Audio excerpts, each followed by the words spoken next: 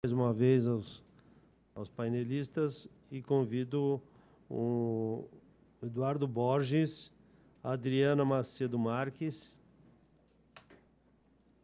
e o Alessandro, Alessandro Rodrigues, Rodrigues Junqueira.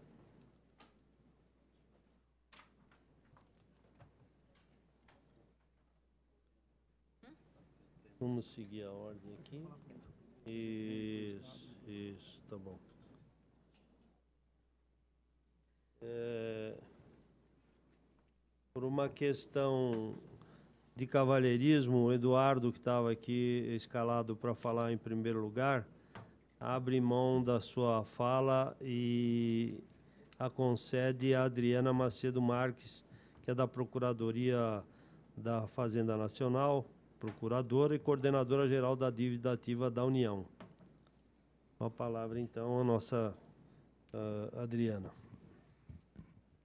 Boa tarde a todos. Boa tarde já, né? Agradeço a gentileza aí do doutor Eduardo. Mas realmente já é difícil, né? Falar na hora do almoço. Imagine depois o professor Carmona e de todos esses palestrantes, né? Mas vamos tentar aí. Vou ser bem breve. Vou trazer aqui mais para vocês é, um histórico dos normativos da PGFN, alguns números da utilização de seguro-garantia no âmbito da Procuradoria. Né, então, vou começar aqui. Bom, antes de mais nada, gostaria de agradecer o convite né, ao GETAP, à IMAG, pela realização, é, realização do evento. Para a gente é sempre muito bom participar dessas discussões. Foram essas discussões, inclusive, que levaram aos nossos normativos atuais. Então, certamente vão levar aos aprimoramentos dos normativos. Então, agradeço o convite e estaremos aí sempre presentes sempre que vocês quiserem, né?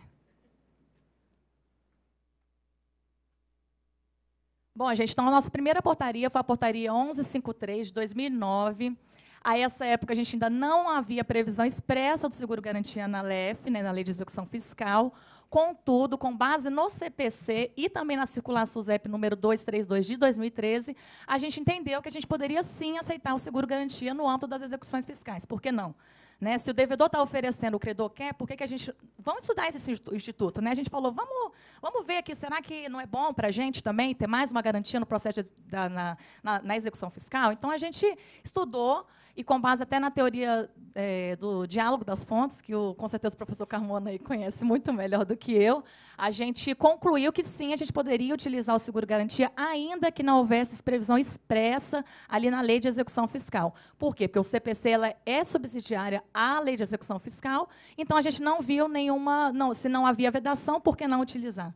Né? A gente não viu nenhum problema nisso, estudamos juridicamente bastante o Instituto, fizemos um parecer bastante extenso e a gente concluiu que sim, a gente poderia utilizar. E, então, com base até nas reuniões que a gente fez com as seguradoras, as seguradoras, com o GETAP, a gente chegou a essa primeira portaria. A primeira portaria ela era ainda bastante restritiva, a gente também tinha as nossas cautelas, a gente não conhecia exatamente o produto, a gente queria utilizar, mas não conhecia. Então, a gente colocou diversas restrições, diversos documentos a serem analisados. Depois, a gente foi verificando o que precisava realmente constar da portaria, o que não precisava, até a gente aprimorar ela numa nova portaria que veio sair, então, em 2014. E para é, fazer essa nova portaria, primeiro a gente teve uma discussão ali com o GETAP, como eu falei, né, que representava ali os contribuintes, com a FIANSEG, representando as seguradoras, a FENABER, representando as resseguradoras, e a SUSEP, os entes reguladores do governo. As, todas essas discussões elas deram origem à nova circular da SUSEP 477, que que veio em 2013, e realmente a gente participou muito ativamente da formulação dessa nova circular também. Então, a gente trouxe ali uma das principais é, inovações dessa circular, foi a separação dos riscos entre o parcelamento administrativo e a execução fiscal. Por quê? Porque o seguro-garantia ele poderia é, garantir tanto o parcelamento administrativo quanto uma execução fiscal. Só que os riscos são diferenciados. Então, você vê, é, o contribuinte apresenta ali um seguro-garantia numa execução fiscal e, de repente, aquele contribuinte adere a um parcelamento. E aí a gente falava, não, mas a garantia vai ter que continuar vigendo. Mas isso é um risco para a seguradora. A seguradora estava ali, é, conferiu uma pólice para uma execução fiscal e, de repente, aquele tomador fez um parcelamento. Confis, conf, é, com, é, como é que é? Confissão de dívida, né? Então, isso gera é, um risco assim, para a seguradora. Então, a, a nova circular SUSEP ela trouxe essa separação dos riscos e isso foi muito bom.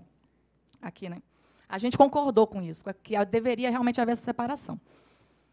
E as principais inovações, então, logo na sequência da nova circular SUSEP, a gente é, editou nossa nova portaria, 164, de fevereiro de 2014, e as principais inovações foram, primeiramente, a separação dos riscos, com base na circular 477 de 2013. Então, primeiro, é, tem o, o, seguro garantia judicial e o seguro garantia no parcelamento. São riscos diferentes, a gente conferiu, então, essas duas modalidades de seguro garantia. Segunda, retirada da obrigação de contratação de resseguro. A gente tinha que nas na pólice acima de 10 milhões de reais deveria haver uma contratação de resseguro, independentemente do limite de retenção da seguradora. Só que a gente verificou que isso na prática não existe. Na verdade, a resseguradora ela ressegura toda a carteira da seguradora. Isso a gente só veio aprender com o tempo mesmo. Então, isso foi um excesso de cautela nosso, então a gente retirou esse requisito da portaria nova. Outra coisa que a gente retirou, a, a, cláusula de pagamento direto. Havia uma previsão de pagamento direto da resseguradora ao segurado, que no caso é a União, no caso de insolvência, falência ou liquidação da empresa seguradora. Essa cláusula de pagamento direto é muito excepcional. Então, por ela ser excepcional, a gente também retirou ela daqui. Ela quase não existe na prática. Né? Então, a gente também não verificou também que era um excesso de cautela nosso que é normal quando a gente né, lidar com um novo instituto. É, também suprimimos o acréscimo de 30% por conta da obrigação de atualização monetária. Esses 30% estão previstos no CPC, por que, a gente retirou? Porque, para nós, Fazenda Nacional, basta o pagamento da pólice, basta o pagamento da dívida atualizada. Eu não quero um real a mais. A Fazenda quer aquilo. Então, se eu quero aquilo, eu não preciso de uma pólice que tenha um valor superior àquilo. Então, a gente retirou a necessidade desses 30%. E, por fim, simplificamos e modernizamos a documentação a ser apresentada. Por quê? Porque a gente exigia um monte de contrato, isso dificultava a análise do procurador, dificultava a apresentação da garantia pelo contribuinte e não adiantava nada, não eram documentos inúteis. Então, hoje, o que a gente exige? A gente exige a apólice, a gente exige uma certidão de regularidade fiscal da seguradora perante a SUSEP e exige, o registro da apólice perante a SUSEP. Ponto. São os três requisitos que a gente exige para aceitar o seguro-garantia. Eu vou trazer aqui para vocês alguns números é, referente às garantias no âmbito da PGFN. Né?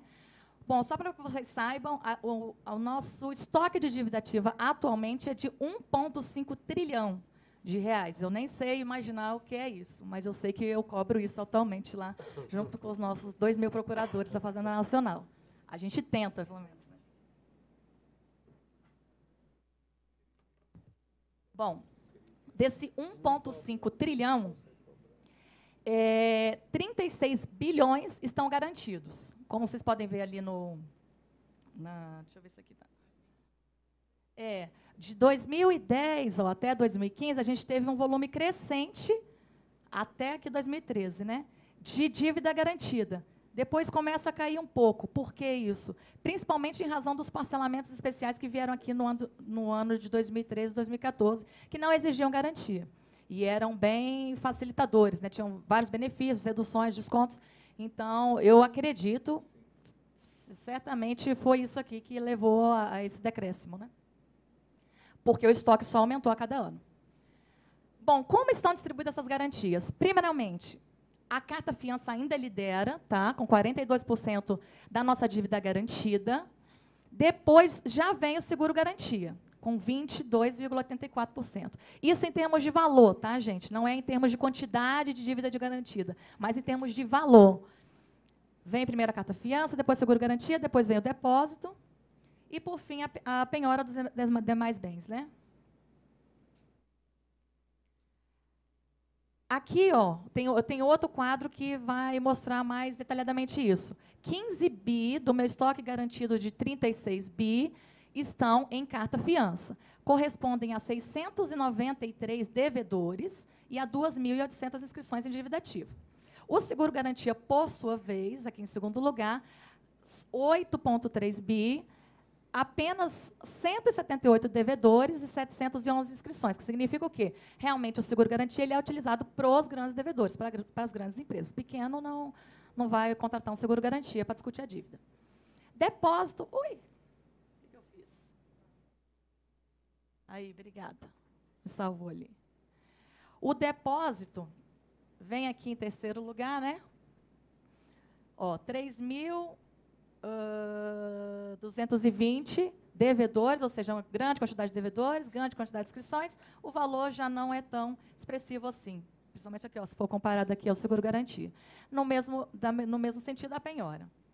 E aqui é sem especificação, porque eu tenho no meu sistema lá dizendo que está garantido, mas não diz qual é a garantia. Então, tem um pouquinho aqui que eu não sei exatamente o que, que é. Mas, com certeza, é uma penhora. O seguro-garantia, especificamente, a evolução dele. Ó, nossa portaria primeira foi de 2009. Em 2010, só nove inscrições garantidas seguro-garantia. Ainda era um instituto muito, muito recente, né? 2011 já teve 56, 2012 107, foi crescendo. 2014, nossa nova portaria, 427 inscrições, 2015 711. Então a gente tem um aumento crescente da utilização desse instituto, o que significa que ele está se consolidando realmente como uma forma de garantia nas execuções fiscais, né? No âmbito da PGFN, pelo menos. Aqui, em termos de valor também, valores crescentes, como é de se esperar, começou lá só com 42 milhões e hoje a gente está em 8,3 bi, como a gente falou. E aqui um quadro que resume um pouco esses números. São Paulo, obviamente, né, aqui estão situadas as grandes empresas, então é, não era ser diferente. É, a maior parte da nossa dívida garantia em seguro é, garantia, com seguro garantia, está aqui em São Paulo. 319 inscrições, 4,6 bi só aqui. Em segundo lugar, em termos de valor, está o Rio de Janeiro, que também lá se encontram grandes empresas. É, as nossas maiores devedores também estão lá. É, com quantidade de inscrição aqui 94. Minas Gerais, na verdade, tem maior número de inscrições, mas em termos de valor é, já é menor. Então, um quadrinho resumindo aqui, 2015 eu tenho isso, 711 inscrições, garantidas com seguro garantia, para 178 devedores, no total de 8,3 bi de reais. Bom, agora aqui, é, falei que ia ser rápido, foi rápido, tá, gente? É só isso que eu trouxe. A gente colocou aqui desafios. Quais são nossos, próprios, nossos próximos desafios, né? A gente não vai ter muito tempo aqui, acredito, para debater isso, mas a gente vai ter que discutir isso uma hora. Né? Quando vier o novo, o novo Código de Processo Civil, como é que vai ficar essa questão? Né? Do, seguro garantia na forma como ele está disposta lá. E se vier uma nova LEF, a gente está com planejamento de ter uma nova LEF em breve. Né? Então, essas questões é, futuras e também presentes, a gente tem a questão da calção também, que sempre o GETAP coloca para a gente. Quando que vocês vão normatizar o seguro garantia para as ações de calção? Então, são questões né, que estão aí, são desafios que se põem. Para a gente, a gente tem que discutir e estamos dispostos a discutir com todos vocês. É sempre ótimo esse debate né, com os contribuintes, com o GETAP, é, o Judiciário está aqui presente também, as, as procuradorias. Então, é, os desafios estão postos, vamos aí enfrentá-los. Tomara que tenhamos sorte. Né? Então, é só isso que eu trouxe hoje para vocês, gente. Estou à disposição para eventuais dúvidas e perguntas.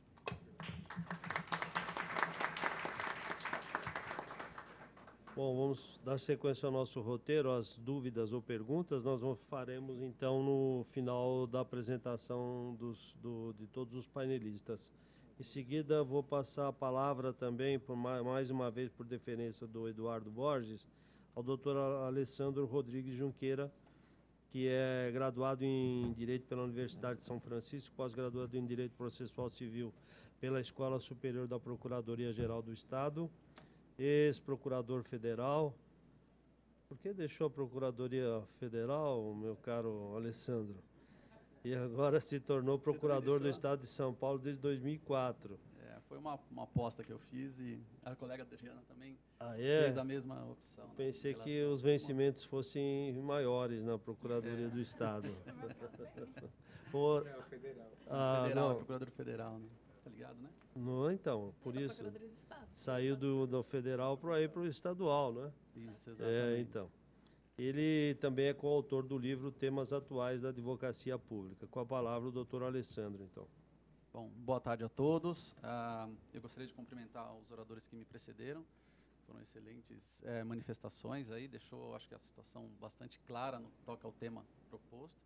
Gostaria de fazer um agradecimento especial ao desembargador Antônio Carlos Cedenho por abrir as portas da escola para esse evento. Gostaria também de agradecer em especial o GETAP, a pessoa do Marcelo, também por patrocinar esse evento, que acho que pode muito contribuir para um tema que é, ainda está gerando bastante dúvida. Né? Não sei se ainda ficou alguma dúvida depois dessas é, excelentes, excelentes palestras, né? Uh, mas a minha pequena contribuição, se é que eu tenho, tenho pouco tempo, né? Vou tentar, em cinco minutos, resumir um pouco da experiência da Procuradoria-Geral do Estado no que toca a questão do seguro garantia judicial.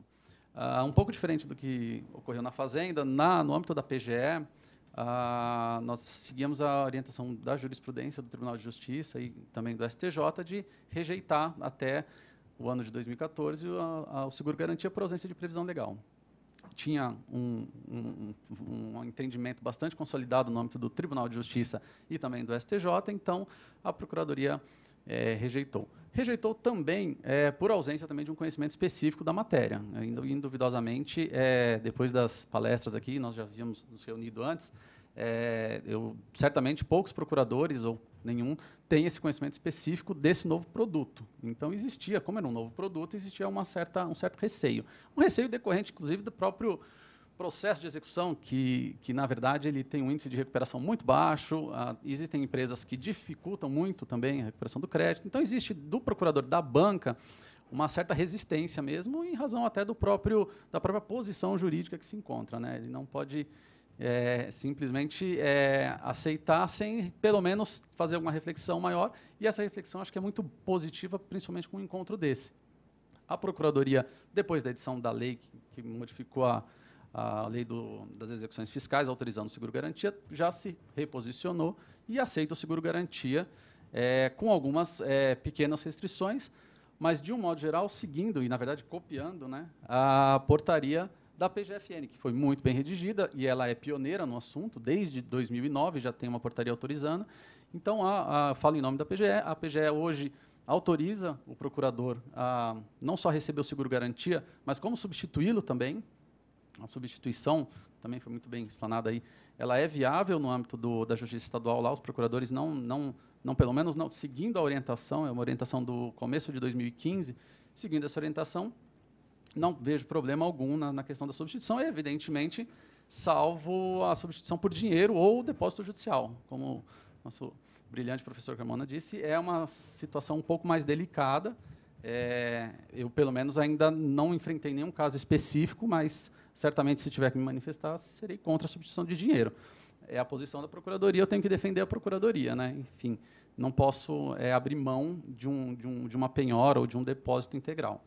E algumas, algumas questões que também ficaram na, especificadas na nossa orientação, a maioria é muito parecida com a, a da, PF, da PGFN, né, a portaria 164, o nosso é o comunicado 3 de 2015. De um modo geral, eu elenquei cinco pontos aqui que são importantes para a avaliação e aceitação do seguro-garantia. A atualização do valor segurado, eu acho que é importante, porque a garantia tem que ser integral. Isso parece bobo, mas isso é objeto de divergência. Se considerarmos a circular 477, eu acho que ela fala de um índice, que não é o índice de atualização do débito da Fazenda Estadual.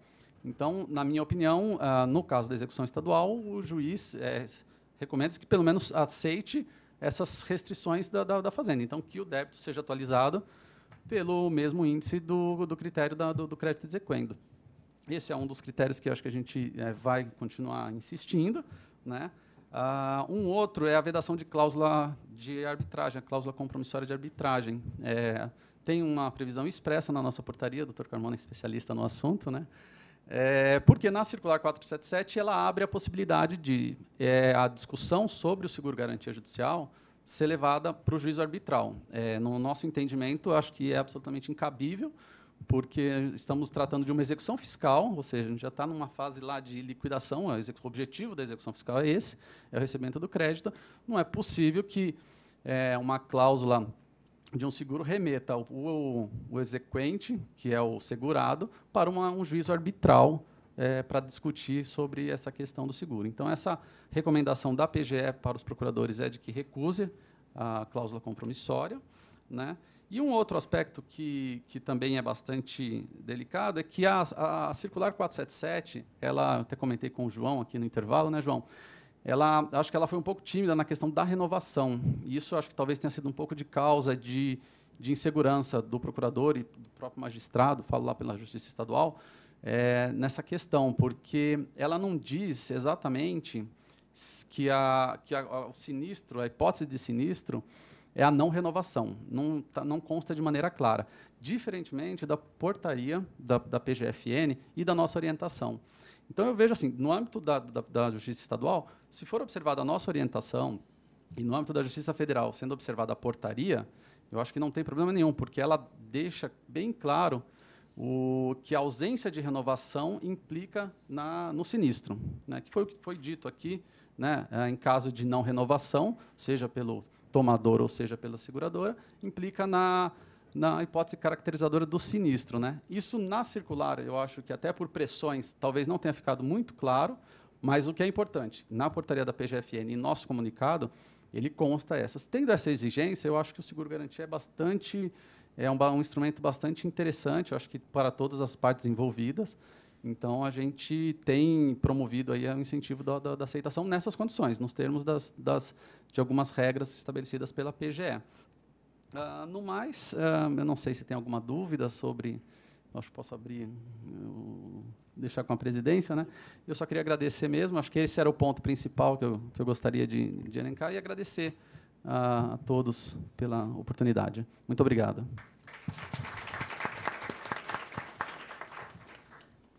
Bem, mais uma vez eu agradeço ao ilustre painelista e antes de passar a palavra ao doutor Eduardo, eu vou transferir a presidência dos trabalhos ao, ao Marcelo, não sem antes agradecer em nome da escola a, a presença de todos, é, principalmente a presença dos ilustres painelistas, é, contar também com a presença do, do ilustre é, palestrante, professor Carmona, é, é um prazer para nós, uma honra tê-lo aqui, não é? É, e, e, confessar que saio daqui já com um processo resolvido que estava sobre a minha mesa, aguardando esta palestra. Desejo também ao doutor Eduardo que a sua, sua fala seja também bastante proveitosa e obrigado a todos em nome da escola. Uma boa tarde a todos.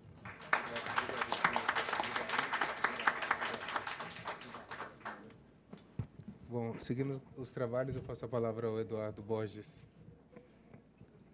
Obrigado, obrigado a todos, obrigado, desembargador. É, é uma honra é, estar aqui presente nesse evento na, na IMAG, um órgão tão importante e que tem conduzido é, é, essa divulgação do conhecimento para melhoria do sistema é, judiciário como um todo de uma forma bastante ímpar e, e a gente tem, a, tem que parabenizar esse tipo de iniciativa. É, eu faço parte do GETAP, sou conselheiro do GETAP, que é uma entidade, como vocês puderam perceber, que é voltada a melhorar, contribuir para a melhoria do sistema tributário nacional, é, para reduzir a, a complexidade, é, para tentar tornar o ambiente de negócios no Brasil, inclusive, olhado sob o ponto de vista tributário, mais fácil, mais atrativo e melhor para o país. Então, dentro dessa linha, o GETAP procura contribuir com tudo que pode, com tudo que está ao seu alcance. Um dos temas é o tema do seguro-garantia, porque ele, por todos os motivos que já, foi, já foram mencionados aqui. Eu não vou, obviamente, repetir tudo o que foi falado, porque não faria sentido nenhum. Eu queria só fazer aqui três observações. Uma sobre o ponto da substituição do, da fiança pelo seguro-garantia, que, como o professor Carmona mencionou, é aquilo que ainda é, merece é, é, gastar tinta a respeito, né, que tem tido algumas dissonâncias no Poder Judiciário. É, outra questão sobre a, a, substituição de fianças por prazo indeterminado, por seguro garantia por prazo determinado. E uma última consideração sobre a questão da idoneidade da seguradora e da instituição financeira que concede a fiança, como que isso é endereçado.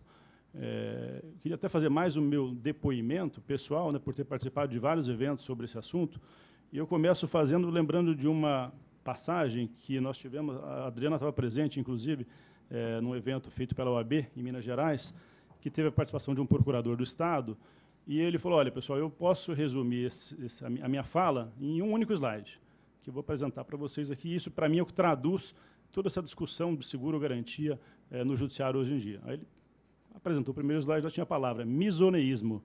Ele falou, olha, o misoneísmo é o que explica isso tudo. Aí todo mundo ficou, mas o que é misoneísmo? Então, eu vou explicar o que é misoneísmo. Misoneísmo é o medo do novo.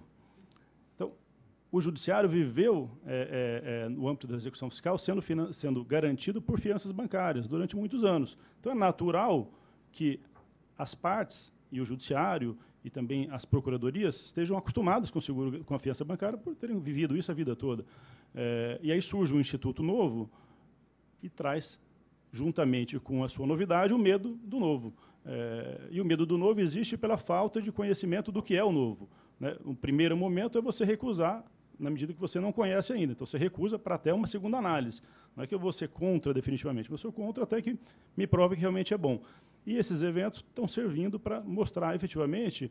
A gente teve aqui é, o representante da, da Federação dos Seguros, que mostra na prática como funciona, como esses riscos são garantidos, como o mercado é seguro, qual o tamanho desse mercado. Quer dizer, isso tudo vai esclarecendo e tirando os medos daquilo que hoje em dia nem poderia se dizer que é tão novo mais. Né? Se a gente for considerar é, que no âmbito federal, onde que a gente está falando de âmbito federal aqui, a primeira portaria foi a 1153 de 2009, a gente já tem é, por aí seis anos aí de caminho. Obviamente, como a própria é, Adriana reconheceu, na primeira portaria havia uma série de excessos. É, e esses excessos foram devidamente é, dirimidos, é, desbastados na segunda portaria, que foi uma portaria aí feita não só dentro de casa, com o medo do novo, né, mas foi uma portaria feita depois de se conversar com todos os agentes envolvidos, com a Federação dos Seguros, com os contribuintes, que são aqueles que tomam as apólices, com o órgão regulador, que é a SUSEP, que controla os riscos relativos a esse mercado e que faz uma fiscalização mensal das, seguradoras, do resseguro e tudo mais. E aí chegaram na, na última, na, na, atual portaria, depois de cinco anos, que é a portaria 164, onde aquilo que havia de medo foi dissipado. É, e a própria Adriana mostrou quais foram os medos que foram dissipados. Eu queria só me, me ater aqui sobre um específico, que não está mencionado na, na, na, apresentação dela, que foi a divisão dos riscos, a questão do parcelamento e todos aqueles itens que ela mencionou.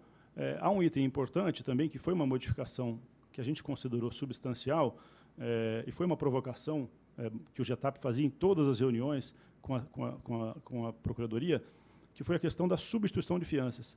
É, da fiança bancária pelo seguro garantia. Esse dispositivo que tratava da substituição, ele estava no, no artigo 5 parágrafo único da portaria 1153, que eu vou tomar liberdade de ler para os senhores, que dizia o seguinte: excluindo-se o depósito em dinheiro, será permitida a substituição de garantias por seguro garantia, desde que se verifique, no caso, interesse da Fazenda Nacional. Eu lembro da palestra do professor Carmona, que ele falou sobre ato vinculado e ato discricionário. À luz da portaria anterior, é, interesse da Fazenda Nacional verificado no caso concreto era tido pelos procuradores que atuavam em cada uma das bancas como um ato discricionário. Ele tinha que verificar se tinha interesse da Fazenda Nacional naquela substituição. E isso trazia uma insegurança muito grande para o produto, na medida em que o contribuinte tinha entendido que o produto era bom, o executado tinha entendido que o produto era bom, tinha dissipado o medo do novo. A Procuradoria tinha entendido que o produto era bom, tinha dissipado o medo do novo. Só que a, a dissipação do medo ocorreu, ocorreu, lá no gabinete, em Brasília, quer dizer, na formulação, né, onde se fazem as políticas, onde se fazem os atos normativos que orientam todos os procuradores que devem cumpri-los. É, porém, o medo do novo precisava ser dissipado degrau a degrau, né, até chegar na ponta em cada processo. E aí, por uma sugestão é, nossa, do GETAP, é, a própria Procuradoria acolheu essa modificação desse parágrafo para deixar ele vinculado e não mais discricionário e nem discriminatório. Que diz o seguinte, é o, parágrafo, é o artigo 5 parágrafo único também da, da 164 de 2014, que diz que excluindo o seu depósito, que o que está depositado não se mexe, no âmbito da Procuradoria, e a efetivação da construção em dinheiro decorrente de penhora, arresto ou outra medida judicial, será permitida a substituição de garantias por seguro, garantia judicial para execução fiscal? Até aqui tudo igual. Desde que atendidos os requisitos desta portaria. Então, não mais desde que verificado o interesse da Fazenda Nacional. O procurador não tem que fazer juízo sobre, ah, eu entendo que há interesse nacional. Não, desde que verificado, atendidos os requisitos da portaria. Foi apresentado um seguro garantia nos termos da portaria, é vinculado, tem que aceitar. O professor Camona diz, não precisaria nem ouvir a parte contrária. Concordo, nem precisaria ouvir. Mas talvez até em função é, é, da litigiosidade que isso pode existir e que não deveria existir, na medida que a própria Procuradoria já disciplinou que, uma vez apresentado nos termos da portaria, deve ser aceito, ouvir a parte contrária para evitar um, um, um, um, assim, um recurso adicional por, pelo medo do novo no âmbito do tribunal, é, como a, a, a excelentíssima juíza presente mencionou, eu entendo que é uma forma de administração da justiça mais, é, é, às vezes parecendo até mais morosa, na medida que você tem que é, é, ouvir a parte contrária, mas muitas vezes mais factível no âmbito do judiciário, quando você tem, como juiz federal, é, milhares e milhares de processos para analisar, e é muito mais fácil quando não tem litígio. É muito mais fácil quando uma parte diz, quero apresentar isso daqui, fazenda, contribuinte, Fazenda Nacional, eu aceito isso daqui, porque está nos termos da minha portaria. Não deveria haver litígio sobre esse assunto. Esse é um assunto que, é, hoje em dia, deveria estar isento de litígio no âmbito federal, que existe uma portaria que disciplina os requisitos, disciplina que a substituição deve ser feita desde que atendido os requisitos da portaria, e o procurador não tem mais discricionariedade para atuar no caso. Ele deve só verificar, foi atendido os requisitos da portaria? Foi, acabou. Um dos requisitos da portaria é a questão é, é, da idoneidade, no âmbito da, da, da aí mudo para o segundo tema, no âmbito da procuradoria, no âmbito da fiança bancária, também existe o requisito da idoneidade da instituição financeira que concede. Como verificar a idoneidade? A gente, o Vergara, né, tivemos na, na, semana passada um evento na, na Federação da, dos Seguros, em Brasília, com várias procuradorias do Brasil inteiro. E uma procuradora de Goiás falou: olha, como eu verifico se tem idoneidade? Eu sou procuradora da Fazenda Nacional, não entendo de seguros, não entendo de mercado de seguros, como é que eu vou garantir que tem idoneidade? Não é ela que garante. Quem garante é o órgão regulador, é a, é a SUSEP, é, é a Superintendência de Seguros Privados, que é do Ministério da Fazenda e que fiscaliza o setor de seguros. Se a SUSEP diz que é idônea, é idônea. Para isso é emitida mensalmente uma certidão de regularidade, e é mensal. A certidão verifica inúmeras condições, eu não sou especialista no mercado de seguros, mas deve verificar inúmeras condições. Sei que verifica, inclusive, a questão da devida contratação de resseguros para quando for necessário é, é, proteção do patrimônio da própria seguradora. Ou seja, o órgão regulador tem uma fiscalização rígida.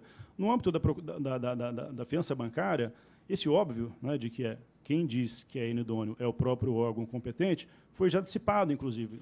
É, tem uma, uma portaria sobre a fiança bancária, deixa eu ver se eu localizo ela aqui, que recentemente veio dizer esse óbvio, que é a portaria 367 de maio de 2014. Porque provavelmente o procurador ficava perguntando internamente como é que eu verifico se o banco é idôneo.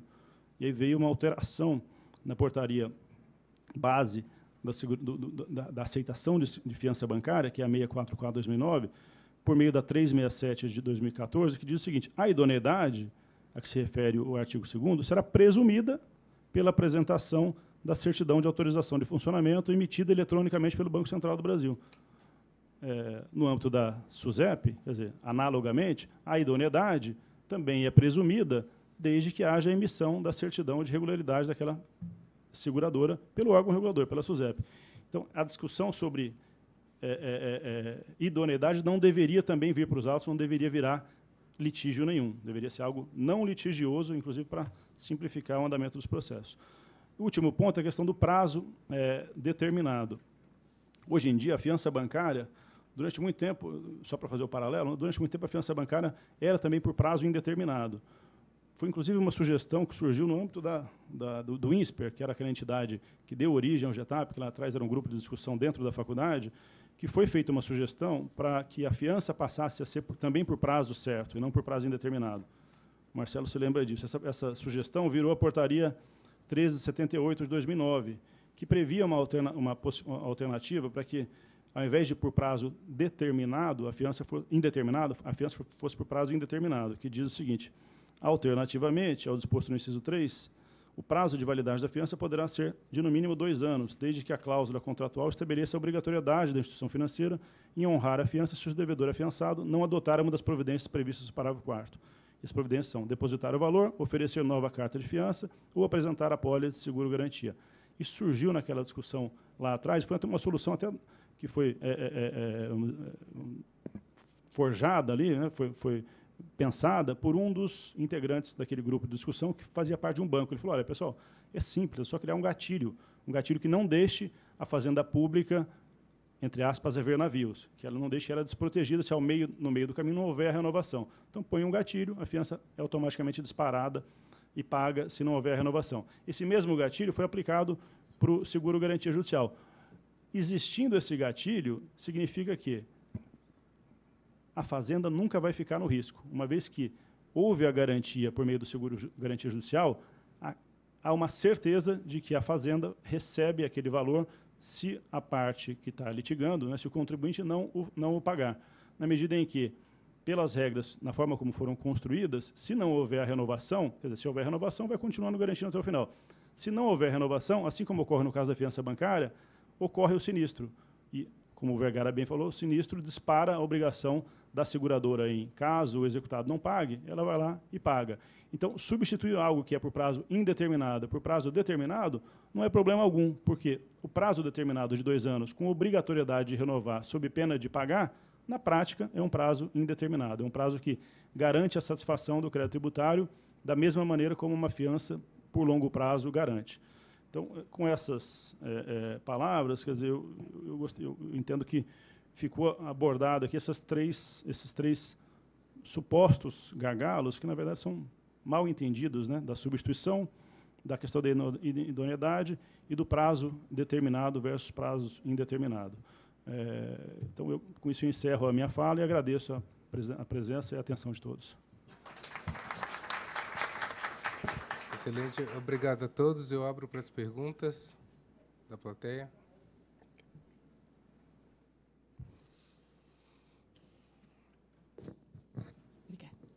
É, queria parabenizar a todos, né? Muito é muito importante esse tipo de discussão e de esclarecimento. A, a minha pergunta e até sugestão seria mais para os procuradores, ainda levando em consideração o procurador que é do estado, né, que participou do federal, que pode dar mais é, respostas a isso. É, uma coisa que eu acho estranho é ainda haver é, no âmbito, e eu fui procuradora da Fazenda, é, essa resistência por parte da Procuradoria de, da Fazenda em negar é, essa, é, esse seguro garantia. Eu tenho uma experiência no sentido de, quando há parcelamento, ainda há essa insistência. Tá? Esse é um ponto. Segundo, é, eu, muitas vezes, quando o advogado, a parte, muitas vezes não vem o próprio advogado, vem o executado, e vem question, questionando que ele tem. Eu falei assim: por que, que os senhores não procuram a própria procuradoria? A própria procuradoria tem interesse nisso, a própria procuradoria vai analisar isso. E aí, a minha sugestão é: isso evitaria é, é justamente essa questão é, de sempre a gente ter, em nome do princípio do contraditório, mandar para o procurador se manifestar. Eu concordo plenamente que isso poderia ser, uma vez que poderia haver uma petição conjunta e com a concordância da própria procuradoria. E isso poderia ser porque sempre isso tem que ser maneira de eh, orientação dentro da Procuradoria. Porque, com certeza, ninguém vai chegar direto no procurador. Vai ter várias etapas, e isso deveria haver uma orientação, e acabaria com muitas etapas. Porque eh, essas explicações e essas dúvidas que a, a senhora explicou muito bem, que a própria Procuradoria teve, e que, com o passar do tempo, foi solucionado, pode ser esclarecido para o executado. Porque muitas vezes o executado não trouxe todos esses elementos que deveriam trazer quando do seguro garantia. Parabenizo e essa é a sugestão.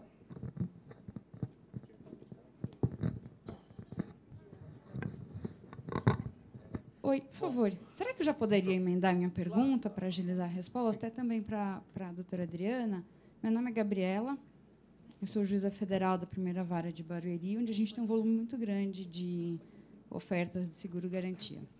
A minha dúvida de respeito, na realidade, é o que justificaria a resistência da PFN em aceitar a oferta do seguro garantia nas ações que visam antecipar a garantia da dívida para fim de certidão ou para discussão do débito, porque há uma quantidade grande de ações cautelares, em que o seguro garantia é oferecido, e aí instala-se a controvérsia justamente com relação a isso, por não constar da portaria.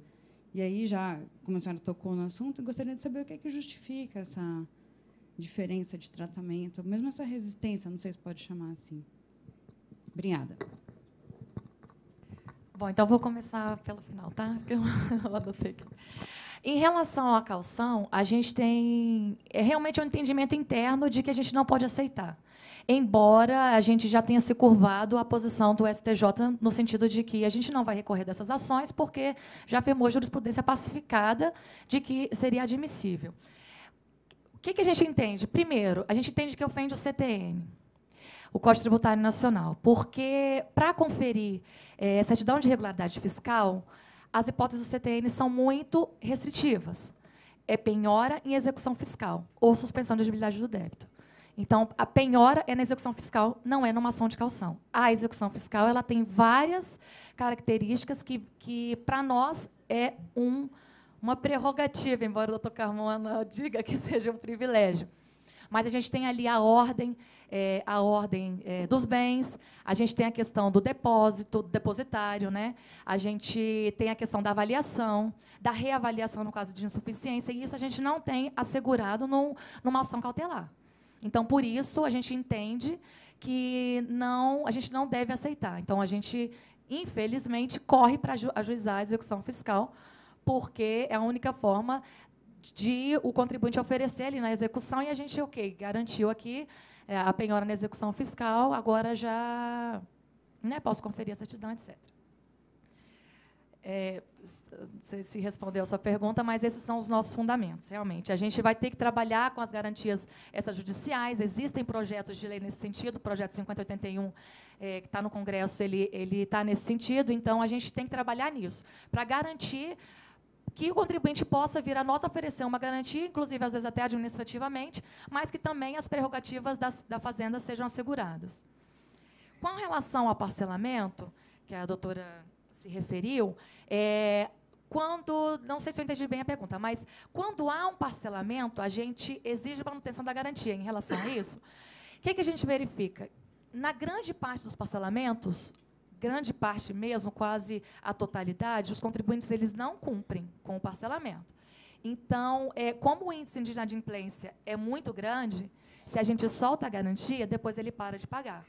Então, realmente, a gente não. E as leis de parcelamento especial, em geral, elas já falam que, se houver garantia, ela deve ser mantida. Então, é até uma determinação legal. E, por isso, a gente não. Realmente, a gente não, não solta a garantia, a gente não libera a garantia. Não concordo com a liberação da garantia no caso de parcelamento. É, e, por fim, quanto a essa con, é, conversa né, entre ali o contribuinte e o credor, a gente tem realmente, em geral, esses contribuintes que vêm até nós oferecer é, fiança bancária ou seguro-garantia, são grandes contribuintes, que a gente chama grandes é, devedores, né, no caso também. Às vezes são grandes contribuintes e grandes devedores, que são as pessoas que mais contribuem, mas também são os que mais devem. Né? A gente tem até que é, agir assim é, de uma forma cautelosa, porque às vezes a Receita fala, nossa, mas você está lá com a empresa, e a gente, mas ele é um grande devedor, e ele, mas ele é um grande contribuinte. Então tem essa questão também da fazenda que a gente falou, tem a fazenda do lado de cá, a fazenda do lado de lá. Mas essa conversa a gente tem porque a gente tem um acompanhamento especial dos nossos grandes devedores, que para nós são aqueles que devem agora acima de 20 milhões. Então, é, em relação a eles, o tratamento é especial. Assim, a gente tem um atendimento prioritário, é, a gente costuma recebê-los porque a gente tem um grupo de procuradores focado nesse grupo de devedores. Então, é, em tese, existe a possibilidade dessa conversa. Né, especializada, assim, que tem que haver, até porque realmente é, é, um, é, um, é um devedor diferenciado. A gente tem que 2% dos nossos devedores é, detém mais de 80% do nosso estoque de dívida ativa. Então, assim, eu tenho milhares de execuções fiscais que não representam quase nada, representam 2, 20% da minha dívida.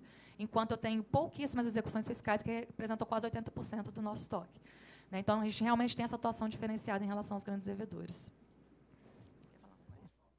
Só para concluir, as perguntas foram muito pertinentes, né? E, e de fato, só corroborando o que a Adriana falou, é, os parcelamentos, de fato, quanto maior o número de parcelas, maior é o grau de inadimplência. Então, gente, nós temos parcelamentos lá de até 120 meses.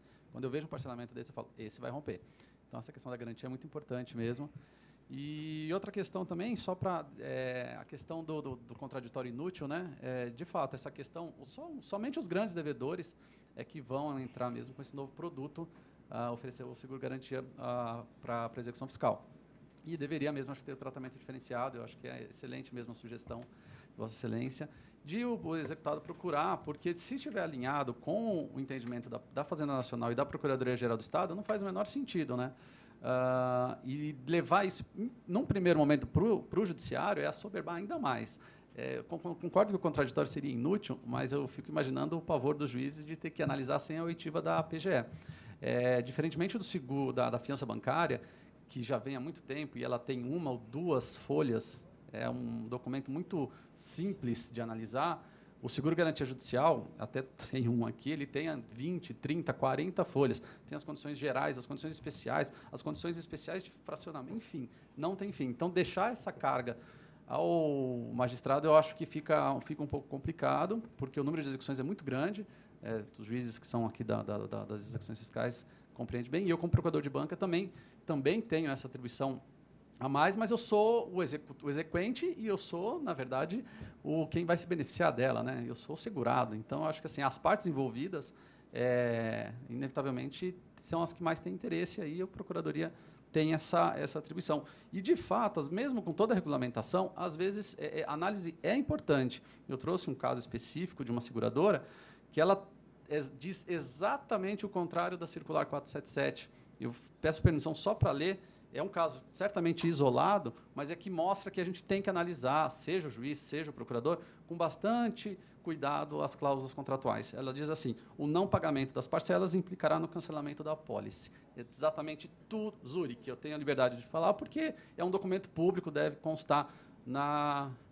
Então, é, bom, tem que analisar. Era só essa a observação que eu gostaria de fazer. Muito obrigado. Mais alguma pergunta? Oi, é, eu prometo ser rápida. É, se identificar também. É, meu nome é Juliana. É, eu queria entender da, da Procuradoria, tanto da Fazenda Nacional quanto estadual, qual o esforço de vocês para sedimentar esse entendimento é, desde a base, já que o Eduardo falou que foi é, começou no gabinete em Brasília, no caso de São Paulo, é, talvez numa diretoria mais especializada, e o quanto vocês estão se esforçando para isso se espalhar, porque eu como advogada de contribuinte sinto muita dificuldade em, assim, em poucos casos eu tive aceitação direta, tive em casos de cautelar, que eu fiquei muito contente, mas eu não consigo falar com o procurador. O procurador, quando eu peço audiência, é, recusa audiência. É, como que a gente vai fazer para criar essa, essa, esse ambiente mais favorável para o contribuinte da gente chegar, como vocês mesmos falaram, em tentar a, a, apresentar isso administrativamente? Porque a gente, como contribuinte, não vê. E o que vocês estão fazendo para a gente conseguir fazer isso? vou perguntar também para economizar o tempo, porque é na mesma linha. Meu nome é Bruna, eu também sou advogada, e eu queria entender, assim, já que assim mais voltada à PGFN, né, porque no estado a gente não tem enfrentado problemas, mas o, se vocês participaram né, da criação da norma, tem norma editada, toda a substituição está regulamentada no âmbito da procuradoria. Os procuradores têm algum tipo de responsabilização ou, sei lá, um puxão de orelha porque eles não estão cumprindo aquilo que, que foi determinado?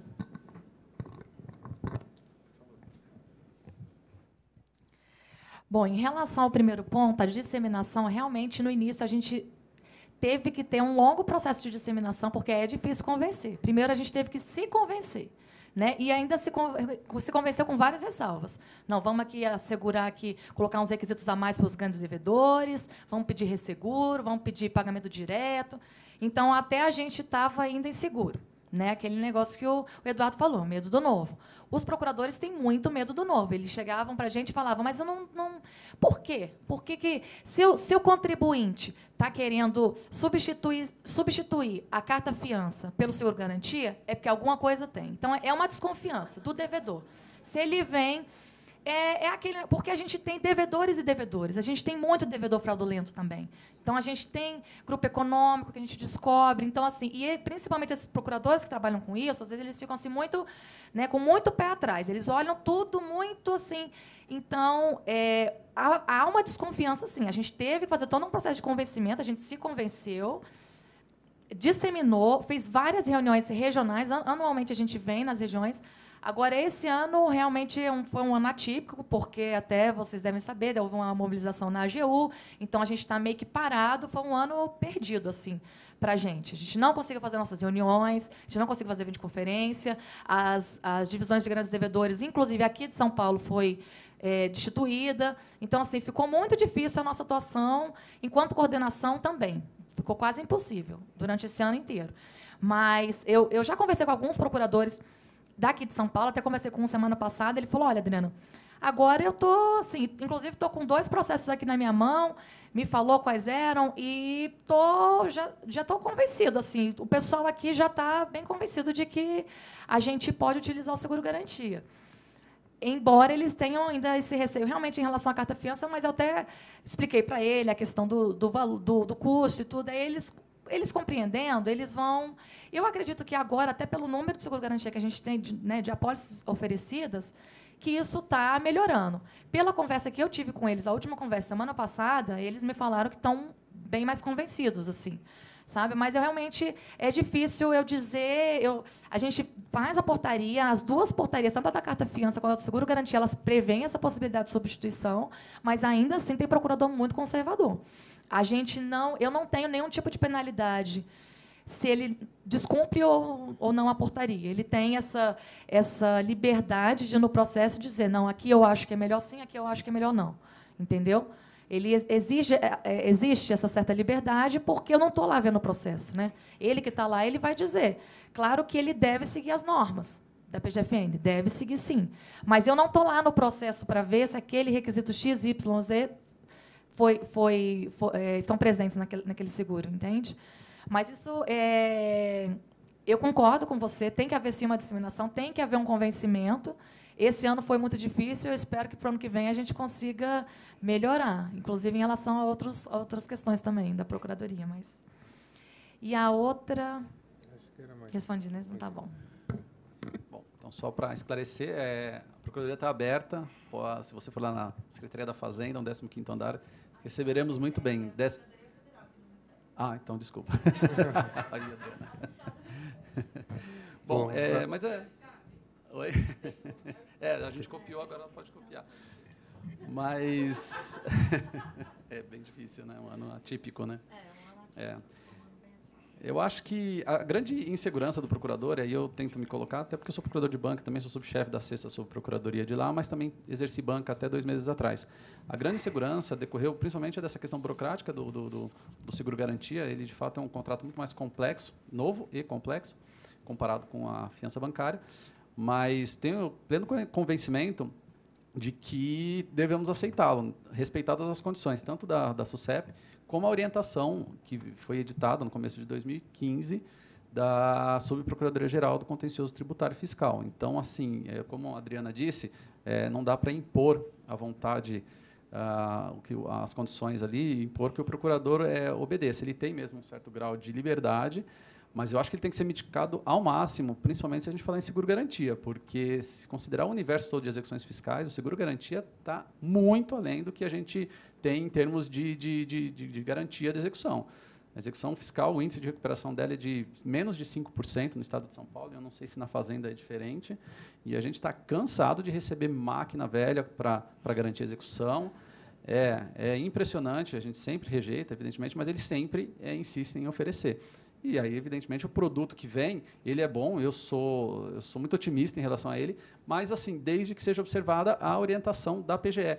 E, e para isso, até, eu acho que é importante que, nas condições especiais, seja feita a menção expressa à orientação, como, tanto da portaria, como da orientação número 3 da PGE, porque isso facilita muito a atuação ali do procurador e do próprio magistrado ao aceitar a, o documento. Era esses esclarecimentos. Obrigado.